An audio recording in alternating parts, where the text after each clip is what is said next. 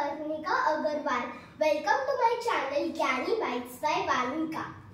I'm sure most of you have used Easy Peasy Lemon Squeezy when you get to do something which is very e uh, simple and effortless to do. But today I will tell you some new fancy idioms which we can use in the place of easy.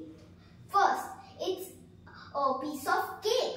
Second, it's as easy as pie. Third, it's not rocket science. Fourth, it's a breeze or a cinch. Fifth, I could do it with my eyes shut.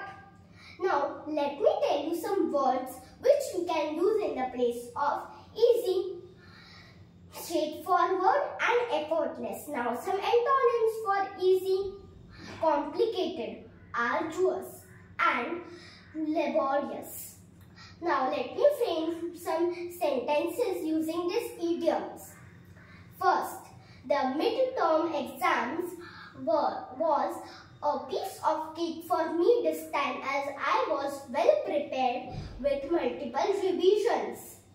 Second, beating their team is in the World Cup finals will be a cinch for India as they are better prepared this time.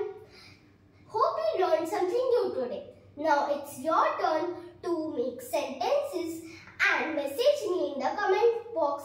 If you found this interesting, please like, share and subscribe my channel. Thank you.